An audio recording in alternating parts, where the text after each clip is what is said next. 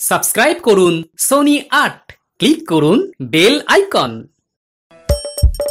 হাসির রাজা জ্ঞানের রাজা রসিক রাজা। না এ যাত্রা মনে হচ্ছে জামাই ষষ্ঠীর নেমন্তন্ন আর রক্ষা করা গেল না। হায় হায় কি যে করি? নবাব আসার আর দিন পেল না। একেবারে জামাই ষষ্ঠীর ঠিক পরের দিনটাতে আসতে হবে। তো বলি সকাল থেকে বসে কি আকাশ পাতাল ভাবছ হ্যাঁ? ভাবনা কি আর সাধে আসে গিন্নি? আমি রাজার ভাঁড়। আমাকে কত কি সব ভাবতে হয়। ইস রাজার ভাঁড়ের যদি এত ভাবনা তাহলে রাজার মাথায় না জানি কত চিন্তা। চিন্তা বলে চিন্তা? এই তো নবাব আসছেন কৃষ্ণনগর দর্শনে। তাতে তোমার কি হ্যাঁ? তুমি কি কেষ্ট ঠাকুর? যত সব। গায়ে মানে না আপনি মোড়ল। আহ, গিন্নি, তুমি বুঝতে পারছ না। নবাব আসছেন ঠিক জামাই ষষ্ঠীর পরের দিন, আর আমাকে সেখানে থাকতে হবে। তুমি থেকে কোন রাজকার্য করবে শুনি? তোমার জামাই ষষ্ঠী আছে। আর কারও না থাকতে পারে তোমার আছে। হ্যাঁ। সে তো জানি গিন্নি বছরের এই একটি দিন আমার যায় একটু খাতির। না হলে সারা বছর তো তোমার ওই মুখ ঝামটার সামনে জামাইয়ের খাতির বলে আর কিছু থাকে না গিন্নি। কি? আমি তোমাকে মুখ ঝামটা দিয়ে না না না না না। তোমার মুখের বাণী আমার কাছে অমৃতের মতো। মোদ্দা কথা হলো নবাব আসছেন তাই মহারাজ আমাকে ছুটি দেবেন না। এই, আমি তোমাকে বলে দিচ্ছি, তুমি যদি না যাও, আমি তো যাবই। আর কোনোদিন, আর কোনোদিনে মুখ হব না হ্যাঁ। তোমার আর কোনোদিন মুখ দর্শনও করব না। ভালো চাও তো মহারাজের কাছে গিয়ে ছুটির দরখাস্ত করো হ্যাঁ। কি জ্বালা শ্যাম রাখি না কুল রাখি এদিকে নোলাটাকেও যে সামাল দেওয়া যাচ্ছে না। আহা, পোলাও। মুড়ো দিয়ে ঘন্ট, কচি পাঁঠার মাংস, আমের চাটনি, দই, বড় বড় ক্ষীরের পান্তুয়া। কি ছাড়া যায়? না, মহারাজকে যা বলার বলেই দিই।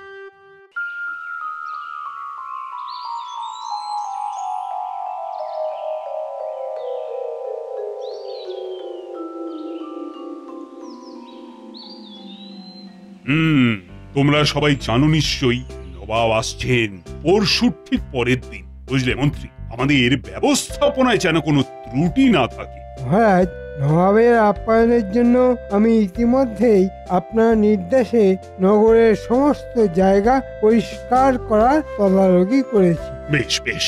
নগরে কিছু জঞ্জাল জমে গিয়েছিল তা দূর হয়েছে। মন্ত্রীমশাই কি নিজে জঞ্জাল খুঁজে বার করলেন? আহ গোপাল তুমি আজ আবার বাজে কথা বলতে শুরু করেছ। সবাই সবার কাজ ঠিক মতো করে। তুমি বরং হে হে, মন্ত্রীমশাই আমার কাজ আমি তো ঠিক মতোই করি তাই না মহারাজ? হুম তা রাজ্যতীষী তুমি বলো তো নবাবের আসার সময় সবকিছু ঠিক থাকবে তো? মহারাজ আপনি বিচলিত হবেন না সময় এখন শুভ। তাই নবাব এলেও আপনার কোনো সমস্যা হবে না। বেশ বেশ বিজ্ঞানী আর গবেষণায় নতুন কিছু আবিষ্কার করলে নাকি? মানে নবাব দেখলে ভারী খুশি হতেন।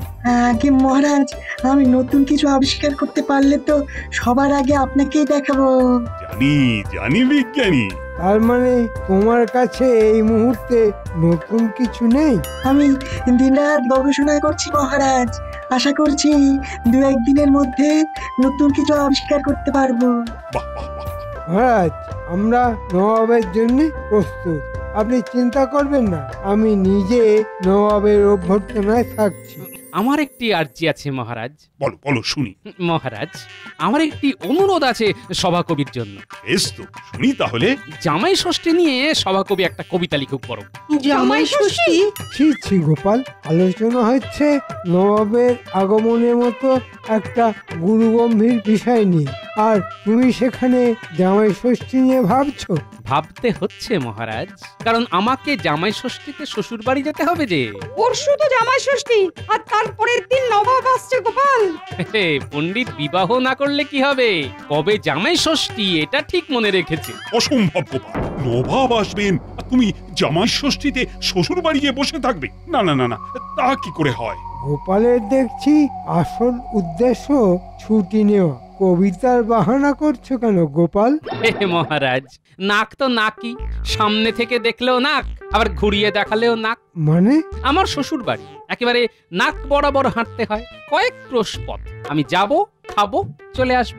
নবাবের আসার আগেই পৌঁছে যাব মহারাজ। আপনি একদম চিন্তা করবেন না। বুঝেছি বুঝেছি গোপাল। আমাকে চিন্তিত দেখে তুমি সরাসরি ছুটি চাও। এটা তোমার গুণ ঠিক আছে। তোমার ছুটি আমি মঞ্জুর করলাম তুমি যাও কিন্তু নবাবের আসার আগেই তোমাকে এসে পড়তে হবে কিন্তু মনে থাকে যেন কথাটা। বিলক্ষণ মহারাজ। তুমি আর এসে উঠতে পারবে না গোপাল। সে ব্যবস্থা আমি করব। আমি হয়ে উঠবো নবাবের কাছে প্রিয়। আর তুমি হবে চাকরি থেকে বরখাস্ত হ্যাঁ? আহ আহ আহ। মহারাজ অনুমতি দিলে একটি কবিতা আমি পড়তে পারি। হ্যাঁ হ্যাঁ নিশ্চয়ই নিশ্চয়ই। পড় পড়। জামাই হয়ে চলল গোপাল ভুড়ি ভোজন করতে। গন্ডা গন্ডা মন্ডা খেয়ে পারবে না গোপাল নড়তে।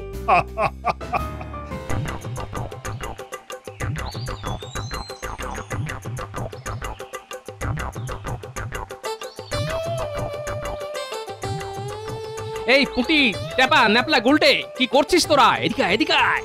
কি বলছো দাদু? আমরা এখন খেলছি। দাদু মুরগি আছে নাকি? সঙ্গে? তোরা খেলছিস সে তো আমি দেখতেই পাচ্ছি। আমার চোখে তো আর ছানি পড়েনি রে। ও দাদু কি বলবে? বলো না। শোন কাল সকাল সকাল আমরা সবাই যাচ্ছি তোদের বাবার মামার বাড়ি। হ্যাঁ বাবার মামার বাড়ি? হ্যাঁ সেখানে খুব আনন্দ হবে আর প্রচুর ভালো খাওয়া দাওয়া হবে। আরে বাস! কিন্তু কাল সকালে যে পণ্ডিত মশাইয়ের কাছে যেতে হবে। পাঠশালা? আচ্ছা ও ঠিক আছে ঠিক আছে। আমি পণ্ডিত মশাইকে পরে বলে দেবো। তোদের কোনো চিন্তা নেই। তোরা চল আমার সাথে। হে হে, কি মজা কি মজা। খুব মজা হবে। যা যা তোরা এখন খেল। অন্ধকার হবার আগে কিন্তু ঘরে ঢুকে যাবি সব। কি হলো কি গিন্নি? আর কত দেরি করবে? এরপর যত বেলা বাড়বে তত গরম বাড়বে। তোমার সাজগোজ শেষ হলো? বলি এত তাড়া কিসের হ্যাঁ? ও বাবা বেনারসি শাড়ি। রানীমা উপহার দিয়েছিলেন। তুমি তো কিপটে। তোমার আশায় থাকলে এ জীবনে বেনারসি আর পড়া হতো না হ্যাঁ? শখ কত। চলো চলো চলো এখন আর দেরি করো না। চলো।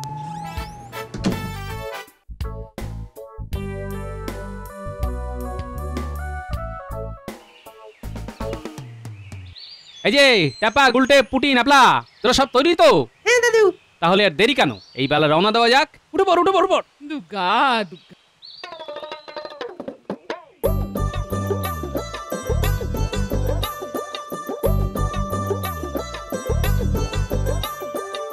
হুম, যা মোটা হয়েছ?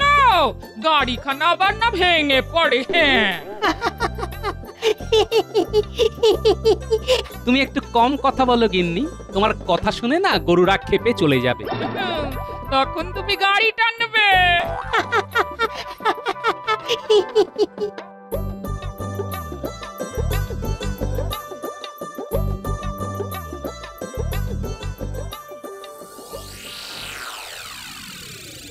এই যে চারু বল দেখি বিকেল বেলার সমাস কি হবে?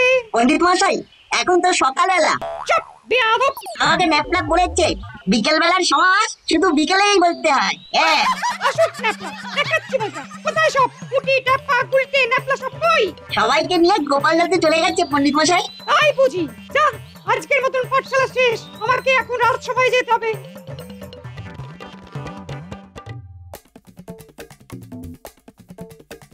মহারাজ আমি একটি নির্দিষ্ট অভিযোগ আপনাকে জানাতে চাই। কেন পণ্ডিত? কি হয়েছে? গোপাল ছুটি নিয়ে জামাই ষষ্ঠীতে তার শ্বশুর বাড়ি গেছে। এক্ষেত্রে আমার কিছু বলার নেই। না স্বয়ং মহারাজ গোপালকে ছুটি দিয়েছেন। কিন্তু গোপালের নাতি নাতনি যারা আমার পাঠশালায় শিক্ষা নিতে আসে তাদের ছুটি দেওয়ার অধিকার নিশ্চয়ই আমার। তাই তো মহারাজ আমি তাদের গুরু মশাই তুমি যথার্থ বলেছ পণ্ডিত। হ্যাঁ তুমি ঠিক বলেছ। গোপালের কি অধিকার আছে? আমার অনুমতি ছাড়া নাতি নাতনিদের পাঠশালায় আসতে না দেওয়া? তো কি- কেন কেন? তারা কেউ চায়নি কেন পাঠশালায়? না মহারাজ তারা কেউ আসেনি। এতে ওদের শিক্ষা লাভে বিঘ্ন ঘটলো। তাদের যদি শরীর খারাপ থাকে তাহলে কোনো প্রশ্ন ওঠে না মহারাজ। কিন্তু এখানে প্রশ্ন উঠছে আহ, কারণ তাদের শরীর খারাপ নয়। মহারাজ গোপাল ওদের সবাইকে নিয়ে নিজে জামাই ষষ্ঠীর নেমন্তন্ন খেতে গেছে। ছি ছি মহারাজ বুঝি না বাপু বুড়ো বয়সে কিসের এত জামাই ষষ্ঠী? তারপরে নাতি নাতনি সদল বলে গোপাল গেল। পণ্ডিতকে কিছু বলেও নি। আমি এর তীব্র প্রতিবাদ জানাই মহারাজ। এমনকি আপনি নিজেই সাক্ষী আছেন যে নবাব আসবে বলেও গোপালের কোনো মাথা ব্যথা নেই। ছি ছি ছি। বেশ গোপাল ফিরুক আমি ওর সাথে এই ব্যাপারে কথা বলব। বলুন মন্ত্রীমশাই কি করতে পারি আপনার জন্য? বড় কাজ আছে রে বটা ঘটা। বড় কাজের পারিশ্রমিকটাও যে বড় হয় মন্ত্রী মশাই। পাবি পাবি এক হাজার মোহর পাবি। এক হাজার মোহর? কি করতে হবে বলুন মন্ত্রীমশাই শোন আজ জামাই ষষ্ঠী আজ রাতে গোপাল ফিরবে। তোদের কাজ হলো গোপালকে মাঝ রাস্তায় বেঁধে ফেলে ও সব কিছু লুট করে নেওয়া এর এমন কি কিন্তু ওই বাচ্চা ছেলে মেয়েগুলো গোপালের সাথে থাকবে। ওই বাচ্চা ছেলে মেয়েগুলো আমাদের কি করবে? কিচ্ছু করতে পারবে না। ওদের ওদেরও আমরা ওই হাত পা মুখ বেঁধে রেখে দেব। হ্যাঁ। ব্যাস আর কিচ্ছু করতে হবে না। এটা করলেই গোপাল আর রাজ সবাই এসে উঠতে পারবে না।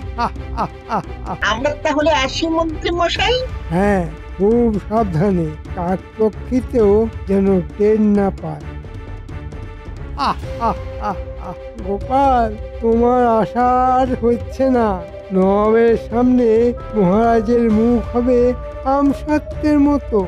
বিদূষকের অভাবে নবাব খেপে যাবে। আর ঠিক তখন আমি হাজির করব ভগবানকে বিদ্যুৎ বিদূষক সাজিয়ে হ্যাঁ। নবাব আমাকে ইনাম দেবে আর মহারাজ তার লজ্জা থেকে বাঁচাবার জন্যে আমাকে পুরস্কার দেবে। আমার পারিশ্রমিক আরও বেড়ে যাবে আর গোপালের চাকরি যাবে হ্যাঁ?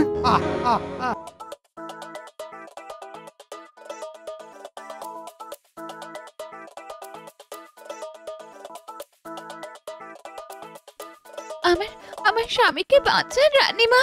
আমার স্বামীকে বাঁচান। ছি ছি, তোমার বরের এত আস্পর্ধা। মহারাজকে বললে এক্ষুনি চাকরি যাবে ও ভুল করেছে। তার জন্য ওকে শাস্তি দিন। কিন্তু চাকরি থেকে বরখাস্ত করবেন না। আমি কোথায় যাব? তোমার স্বামী আগেও এরকম ভুল অনেকবার করেছে। এত শাস্তি পেয়েও শিক্ষা হয়নি। রানীমা রানীমা আপনার দুটি পায়ে পড়ি রানীমা। আপনি যেভাবেই হোক এইবারের মতো। এইবারের মতো মন্ত্রীর কি হবে আমি জানি না। তবে আমি মহারাজকে সব কথা জানাব। তোমার কথাও বলব। শত হোক তুমি না বললে আমরা জানতেই পারতাম না এরকম ঘটনা যা ঘটতে চলেছে। আপনার আপনার অশেষ দয়া রানীমা আপনার আপনার অশেষ দয়া। কিন্তু তার আগে গোপালকে বাঁচাতে হবে। নবাবের সামনে গোপালকে আসতেই হবে। তুমি এখন যাও। মন্ত্রীর সাথে কোন রকম এই বিষয়ে আলোচনা করবে না। তাহলে তুমিও কিন্তু ছাড় পাবে না বলে দিলাম।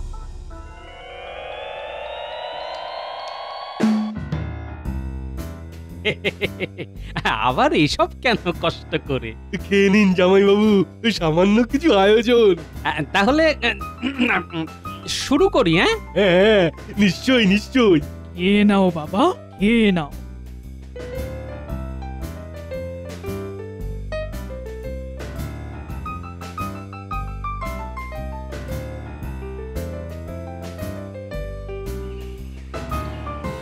কি ব্যাপার রানী? এই সময় তুমি হঠাৎ ডেকে পাঠালে কেন? কিছু কি হয়েছে? অনেক কিছু অনেক কিছু হয়েছে মহারাজ। হ্যাঁ অনেক কিছু? মহারাজ গোপাল খুব বিপদে আছে। সে কি? আপনি যে কোনো উপায়ে গোপালকে বিপদ থেকে উদ্ধার করুন মহারাজ। কিন্তু আমি একজনকে কথা দিয়েছি। তুমি কথা দিয়েছ? কাকে? মানে গোপালের কিসের বিপদ? যে লোক গোপালের বিপদের কারণ তাকে খুব বেশি শাস্তি দেওয়া চলবে না। কে সে? আপনার মন্ত্রী।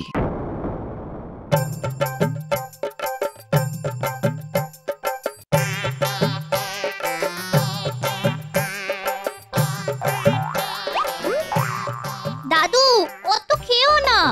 দাদু কত বড় মুড়ো খেতে পারবে? এই এই তোরা চুপ কর তো। জামাই কি আর তোদের মতন করছি? তোরা এসব পারবি না। বলি আরও দুটো মুড়ো দেবো বাবা হ্যাঁ? এই রে। আগে না এখন কি আর সেই বয়স আছে? তবে ওই পোলাও আরেকটু খেতে পারি। নিশ্চয়ই নিশ্চয়ই বাবা নিশ্চয়ই। মন্ত্রী এত কিছু চিন্তা করছে। বেশ। ওকে আমি উচিত শিক্ষা দেব। কিন্তু ওর দুই শয়তান বটার ঘটা। ওরা তো চলে গেছে গোপালকে ধরবার জন্য। আমি এক্ষুনি চারজন প্রহরীকে পাঠাচ্ছি। গোপালকে সঙ্গে নিয়ে আসার জন্য। তুমি কিচ্ছু চিন্তা করো না রানী। গোপালের আমি গোপালের আমি কিচ্ছুটি হতে দেব না। হ্যাঁ এইটুকু ভরসা আমি রাখি। আহ খাওয়াটা একটু বেশি পরিমাণে হয়ে গেছে। হ্যাঁ নিজে বাজার করো কিপ্টের মতো করে। আর এখানে পুরো আস্ত পাঁঠা হজম করে ফেললে হ্যাঁ? এই তোরা চুপ করবি হ্যাঁ? জামাই মানুষ যত খাবে ততই আমার তৃপ্তি। তবে জামাইবাবুর খাওয়া কিন্তু আগের থেকে কমে গেছে। তা বটে। আগে হলে মনে হয় পাঁঠার শিংও খেয়ে নিত। নিন নিন জামাইবাবু এবার এবার পান খান। তারপর তারপর একটু নিদ্রা দিন। উম, সে তো বটেই সে তো বটেই। হ্যাঁ ঘুমে আমার চোখ একেবারে টেনে আসছে। আর তবে কিনা আমাকে তো যেতে হবে। ওই নবাব আসছে তো? না না তোমার বোন আরও দুদিন থাকুক না। হ্যাঁ আমাকে যেতেই হবে বুঝলে? অন্ধকার হতে এখনও দেরি আছে। রাতে তো ঘুম হবে না অনেক দূর পথ যেতে হবে। আমি একটু জিরিয়ে নি হ্যাঁ হ্যাঁ সেই ভালো সেই ভালো জামাইবাবু। বুঝলে ভাইয়া এরকম খাবার পর একটু দিবা নিদ্রা না দিলে যে চলে না।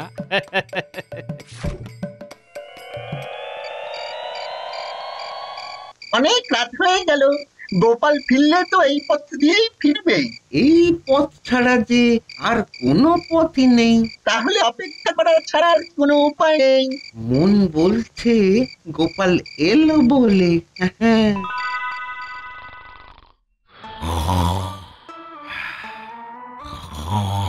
শুনছো?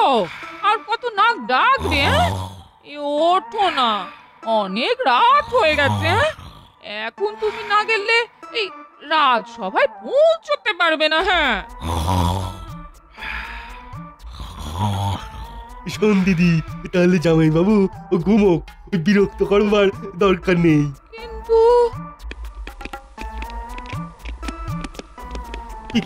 এত রাতে কারা এলো? মহারাজ কৃষ্ণচন্দ্র আমাদের পাঠিয়েছে গোপাল একা ফিরলে তার অসুবিধে হতে পারে তাই আমরা সাথে থাকব। কিন্তু তিনি তো এখন ঘুমোচ্ছেন। কিন্তু মহারাজ আমাদের বলে দিয়েছেন গোপাল যে অবস্থায় থাকবে সেই অবস্থায় তাকে নিয়ে আসতে হবে। আমাদের অনুমতি দিন আমরা ভিতরে গিয়ে গোপালকে নিয়ে যাচ্ছি। বেশ মহারাজের যখন হুকুম তখন আমি আর কি বলতে পারি? একে কাঁধে করে নিয়ে যাওয়া ছাড়া তো আর উপায় নেই। ও বাবা গো বলি মরা মানুষ তো কাঁধে ওঠে ও যে জ্যান্ত। হ্যাঁ? উপায় নেই গিন্নিমা।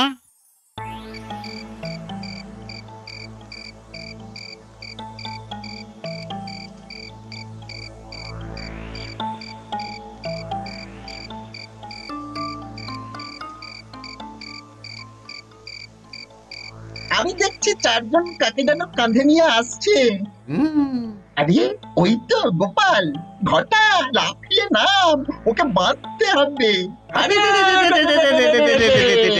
এই কে কে কে কে তবে রে ওরে বটা এ পালা পালা এরা তো দেখছি ওই রাজার প্রহরী রে পালা পালা পটা দেখ কেমন মজা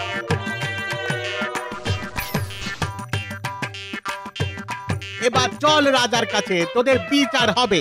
ওরে বাবা রে আমাদেরকে ছেড়ে দাও। আমি কি স্বপ্ন দেখছি?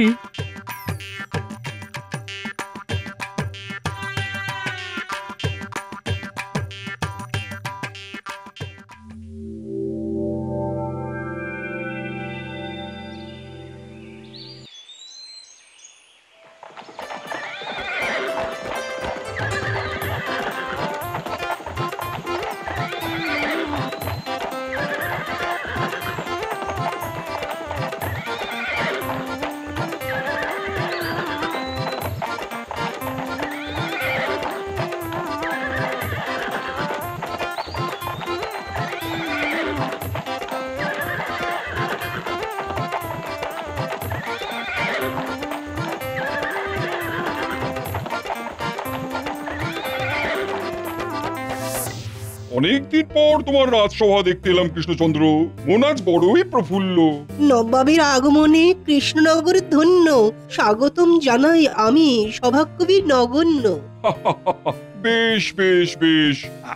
আপনার জন্য আমার প্রাসাদের দক্ষিণ দিকের অতি মনোরম একটি শয়নস্থলের বন্দোবস্ত করেছি নবাব সাহেব। সে তো বুঝলাম। আমার খাতির যত্নে তুমি কোনো ত্রুটি করনি। কিন্তু গোপাল কোথায়? তাকে যে দেখতে পাচ্ছি না।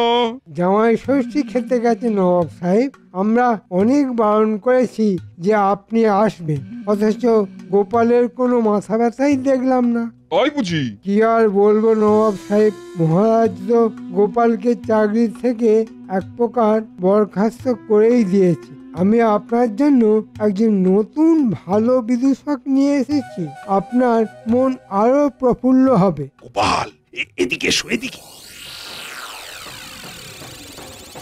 মন্ত্রী কৃষ্ণচন্দ্র আর গোপাল আমাকে সব বলেছে। তোমার শয়তানি মুর্শিদাবাদ অব্দি সবাই জেনে গেছে। আমার মন্ত্রী হলে তোমাকে আজকেই গর্দান নিতাম। কিন্তু তুমি কৃষ্ণচন্দ্রের মন্ত্রী। কৃষ্ণচন্দ্রই তোমার বিচার করুক। মহারাজ আমাকে ক্ষমা করে দিন। আমাকে ক্ষমা করে দিন।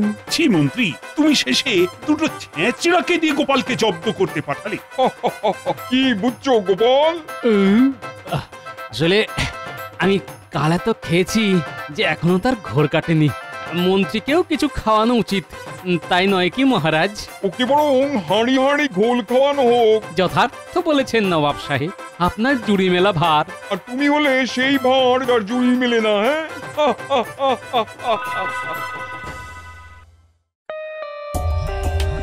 For more updates, subscribe to our channel, click the show links and enjoy watching the videos.